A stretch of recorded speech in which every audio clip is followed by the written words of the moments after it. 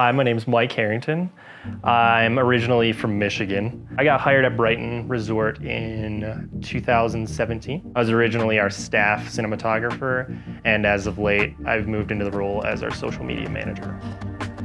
So, when you go outside with your phone or any camera, really, um, and it's an extremely cold day, batteries that would usually last you about four and a half hours last sometimes as less than 10 minutes. So I love to use my lander case with its Thermaline tech. It makes my phone battery last so much longer and I can actually go out there and do my job and feel confident that I'll be able to get everything I need to get. When I'm on the chairlift and I'm doing like Instagram lives or Facebook lives, it's great to have the lanyard on the case because it keeps it so it doesn't fall out of my hand it's got a better ergonomic feel to it. One of our best kept secrets at Brighton is our tree riding. Like our glades, you can find like hidden pockets of snow at pretty much like any time. And not that many people know about that, but people should know that honestly.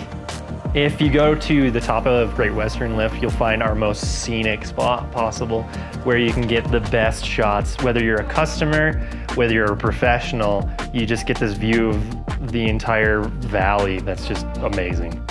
What sets Brighton apart from every other resort is it has that home feel. Like you can just walk to the lift. It doesn't have this daunting impression that it drops on you. And it's also where most people in Salt Lake City come to learn to ride. That's what we're mostly known for.